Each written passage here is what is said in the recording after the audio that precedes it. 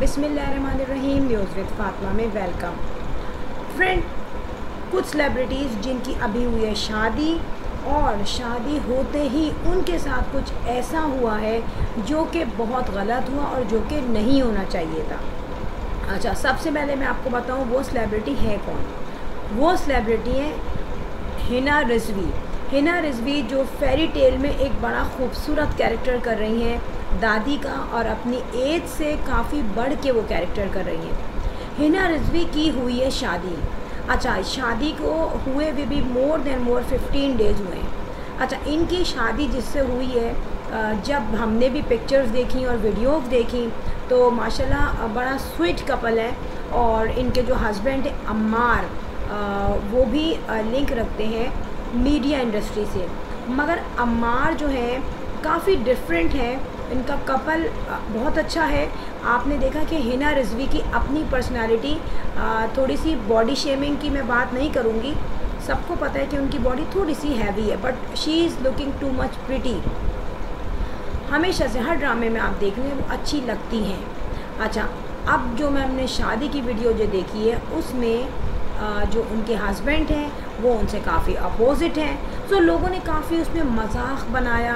काफ़ी आपको पता है, जब कमेंट्स आते हैं तो वो नॉर्मल पब्लिक वो कमेंट्स कर रही होती है। और उस कमेंट्स में उन्होंने ऐसी बातें कही कि, भाई जो है हस्बैंड जो है, वो काफ़ी पतला है और वाइफ जो है काफ़ी फैटी है, जो कि ऐसी बातें नहीं कहनी चाहिए। एनी हाउ शादी जो हुई है, उसमें हिना रिजवी जो है, बहुत अच्छी लग रही हैं और उनका गॉर्जियस जिसे कहना चाहिए ना, वो लुक आ रहा है। इस लुक के पीछे जो है, उनका कॉन्फिडेंस दिखता है। अब इस कॉन्फिडेंस को उन्होंने अपनी शोबस की लाइन में तो मेंटेन रखा। यहाँ पे शादी के जस्ट पंद्रह दिन बाद उनका हो गया एक इम्तिहान। और इम्तिहान भी था एक प्रैंक मगर वो प्रैंक जो डेफिनेटली उनको जो है उस प्रैंक से शायद अपनी जो है सेल्फ़ रिस्पेक्ट में फ़र्क लगा या थोड़ा सा उनको ईगो में फ़र्क लगा। मे बी पॉसिबल और ऐसे प्रैंक आई थिंक नहीं होना चाहिए और वो भी न्यूली ब्राइट के साथ। तो फ्रेंड मैं बताऊँ, हुआ क्या? सिनेरियो ये हुआ कि अम्मार और हिना रिजवी, ये दोनों जो हैं खाने के लिए एक ऐसा रेस्टोरेंट सर्च कर रहे थे, जहाँ ये पहले ना गए हों।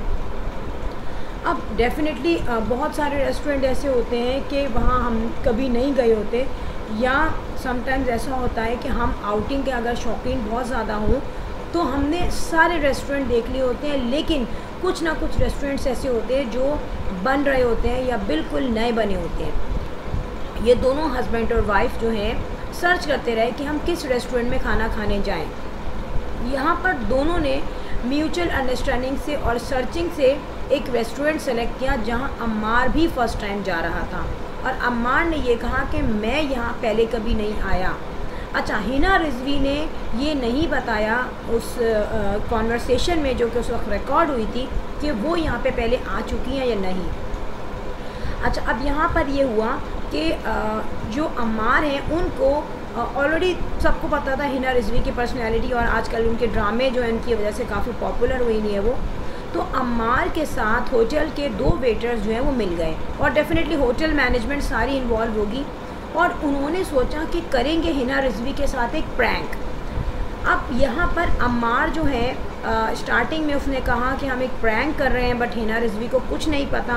मेरे साथ एक वेटर भी शामिल है और एक वेटर तो कहने को है एक्चुअली में उनके साथ जो है पूरी मैनेजमेंट शामिल होगी। तो हुआ कुछ यूँ कि ये दोनों बैठे थे टेबल पर और दोनों डिस्कस कर रहे थे कि क्या खाएँ। अच्छा यहाँ पे मेन्यू डिसाइड हो रहा था। मीन वाइल अम्मार जो है, वो भी डिस्कस करने लगे। वेटर आ गया। जब वेटर आया तो उसने ये कहा कि सर, आप क्या लेना पसंद करेंगे? उन्होंने अपनी जो सेलेक्टेड उनकी जो डिशेस थी, वो उन्होंने बताई। यहाँ पर वेटर ने एकदम से ये कहा अम्मार से, जी सर, पहले आप जब आए थे, आपने ये डिश ट्राई की थी डेफ़िनेटली आपको पता होगा कि ये डिश कैसी है। अच्छा अब first of all Hina Rizvi ने इतना ध्यान नहीं दिया। अब ये देखा जब वेटर ने कि यार ये क्या हो गया, अभी तो उसने सुना नहीं और उसको सुनाना था तो उसने फिर थोड़ी देर बाद कहा, सर, आप आए थे तो आपने ये ड्रिंक ली थी और डेफ़िनेटली ये ड्रिंक आपको पहले भी बहुत पसंद थी, आपका फेवरेट है। इस दफ़ा भी हिना रिजवी ने इग्नोर कर दिया। मे भी पॉसिबल वो जान के इग्नोर कर रही हो। तीसरी दफ़ा क्या हुआ? जब वेटर दोबारा आया और तमाम मेन्यू ले आया और उस वक्त उसने कहा, सर, आपको पता है जो ये प्रॉन्स की रेसिपी है, किस तरीके से प्रॉन्स बनते हैं और आपने मुझसे लास्ट टाइम जब आए थे, आपने पूछा था। अब जब ये बात हो गई तो अम्मार की जो वाइफ है हिना रिजवी, उसने कहा कि आप तो कह रहे थे, आप पहले नहीं आए, आप बिल्कुल फ़र्स्ट टाइम यहाँ आए ये वेटर आपको कैसे जानता है? इस पर वेटर ने कहा, नहीं मैडम, ये पहले भी आ चुके हैं। अच्छा और जो ये आए थे तो ये अपने साथ जो है, एक बेयर भी लाए थे। अब टेडी बेयर लाए थे बड़ा सा। अब जब टेडी बेयर की बात हुई तो हिना रिजवी जो है, एकदम से कॉन्शियस हो गई और फिर उसने अपने हस्बैंड अम्मार की तरफ़ देखा। अब अम्मार को सारी सिचुएशन पता थी और अम्मार ने एकदम से वेटर को डांटा और उसको कहा, आप क्या पागल हो गए? आप जाएँ अब दूसरे वेटर को लाइए। अच्छा यहाँ पे प्रैंक प्री प्लान था। उस पर जो है, वो चला गया और दूसरा वेटर आया। दूसरे वेटर ने भी थोड़ी देर में अम्मार से कहा कि, सर जी, आप बताइए, मैं क्या आपके लिए स्वीट रेसिपी लाऊं स्वीट डिश लाऊं और जिसकी रेसिपीज़ आपको पता हैं? तो उस पर अम्मार ने कहा, मैं तो यहाँ फ़र्स्ट टाइम आया हूँ। उसने भी यही कहा, नहीं सर, आप यहाँ पे पहले भी आ चुके हैं, मैंने ही आपको सर्व किया था लास्ट टाइम हिना जो है, अब हो गई बहुत ही अलर्ट अब इसने ये कहा, पहला जो वेटर था, उसने कह दिया कि आप जो हैं टेडी बेयर लाए थे. अब जब इस वेटर ने कहा, सर, आप चॉकलेट्स लाए थे बहुत सारी और आपके साथ एक लंबे बालों वाली लड़की भी थी. ये सुनना था और हिना ने अचानक से उस वेटर को रोका. अम्मार ने ये कहा कि आप जाइए वाइल हिना ने कहा, आप क्यों जाने दे रहे हैं? मुझे उसकी बात कंप्लीट करने दें. अम्मार ने वेटर को डांटा कि आप मुझे क्यों तंग कर रहे हैं? मैं ना यहाँ पे आया हूँ, ना इधर मैं किसी लड़की को लाया हूँ। फ्रेंड ग्रेजुअली बात बहुत कॉम्प्लेक्स इशू में आ चुकी और यहाँ पर हिना की आँखों में आँसू आ चुके थे। अम्मार ने भी नोट डाउन कर लिया। वेटर ने भी नोट डाउन कर लिया। मगर ये चीज़ जो है, उनको इतनी जल्दी ख़त्म नहीं करनी थी। अब टॉलरेट नहीं हो पा रहा था। हिना रिजवी ओवरवेलमिंग फील कर रही थी। सो यहाँ पर अम्मार ने उस वेटर को डांटना शुरू कर दिया और भगाना शुरू कर दिया। फिर क्या हुआ? हिना रिजवी ने कहा, यहाँ से उठें, चलें यहाँ से।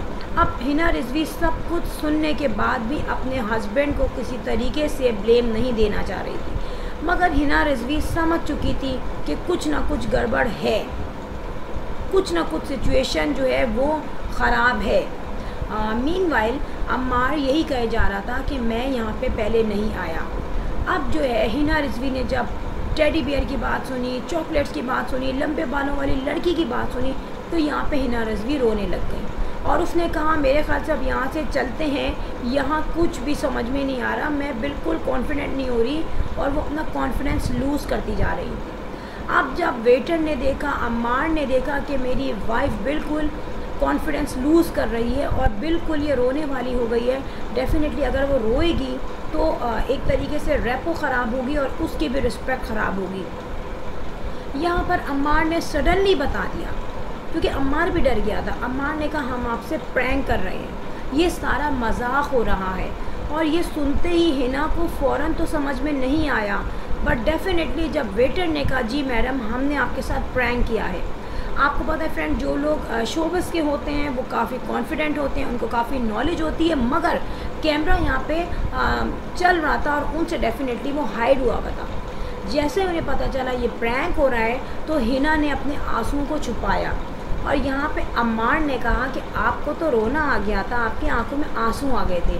अब यहाँ पर हिना को अपनी कुछ सेल्फ़ रिस्पेक्ट में कमी लगी क्योंकि अपने हस्बैंड के सामने एकदम से उनकी वो डिग्रेड सी हो गई थी कि भाई ये रो रही है और मैं किसी और लड़की में इन्वॉल्व हूँ। और आप देखें जब ऐसी सिचुएशन हो जब हस्बैंड अच्छा हो और वाइफ थोड़ी आ, उसमें हस्बैंड वाइफ से अच्छा हो ठीक है जब ये सिचुएशन होती है तो जो वाइफ होती है वो ओवरऑल ऑलरेडी साइकोलॉजिकली अपने आप को बहुत कम फील कर रही होती है। यही सिचुएशन उस वक्त इन दोनों के दरमियान हो चुकी थी।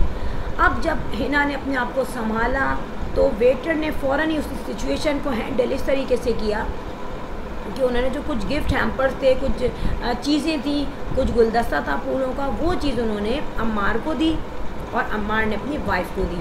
पे फ्रेंड ये हो तो गया प्रैंक और उसके बाद डेफिनेटली खुशी खुशी उन्होंने खाना खाया। मगर सोचना ये है कि थोड़ी देर का ये जो मज़ाक था इससे उस लड़की के माइंड पे क्या असर पड़ा? उस लड़की की जो सेल्फ़ रिस्पेक्ट थी और उसका जो एक ग्रेस था और शॉर्ट उसका जो इमेज था, वो एकदम डाउन हो गया। यानी कि उसके दिल में ये डर बैठ गया जो कि डर एक छुपा हुआ था कि यार कहीं ऐसा ना हो, मेरा हस्बैंड किसी और में इन्वॉल्व ना हो जाए। वो डर जो है प्रैंक की शक्ल में उन्होंने उसके सामने ले आए। बट आई थिंक ऐसा प्रैंक एक न्यूली ब्राइड के साथ बिल्कुल भी नहीं होना चाहिए और जहाँ पर हस्बैंड और वाइफ में डिफरेंस हो लुकिंग वाइज भी डिफरेंस हो और आई थिंक थोड़ा सा एज में भी दोनों में डिफरेंस है। अम्मार शायद छोटे हैं हिना रिजवी से दो तीन साल या एक दो साल। डजेंट मैटर कोई इशू नहीं है। मगर होता क्या है कि जब सेलिब्रिटीज़ के साथ ऐसे जोक्स होते हैं या प्रैंक होते हैं तो वो उन सेलिब्रिटीज़ के लिए समटाइम्स एक वीक पॉइंट बन जाते हैं, उनका वीक कॉर्नर बन जाते हैं। सो आई होप कि जब आप मज़ाक करें तो किसी से इतना सेंसिटिव मज़ाक नहीं करें कि बिल्कुल जो अभी जिनकी शादी हुई है और जो अपनी लाइफ को बहुत अच्छी तरीके से गुजारना चाहते हैं, उनमें कोई ना कोई डिस्टर्बेंस ना आ जाए बीच में। अच्छा फ्रेंड ये थी इन्फॉर्मेशन आपकी फेवरेट सेलिब्रिटी फेरी टेल की। और मिलेंगे इन ताला किसी नए व्लॉग में। और एक और बात बेल आइकन पे हिट कर दीजिएगा। सब्सक्राइब विद बेल हो जाता है, बगैर कैश के। I will sign in in next vlog. Till then, Allah Hafiz. Bye bye.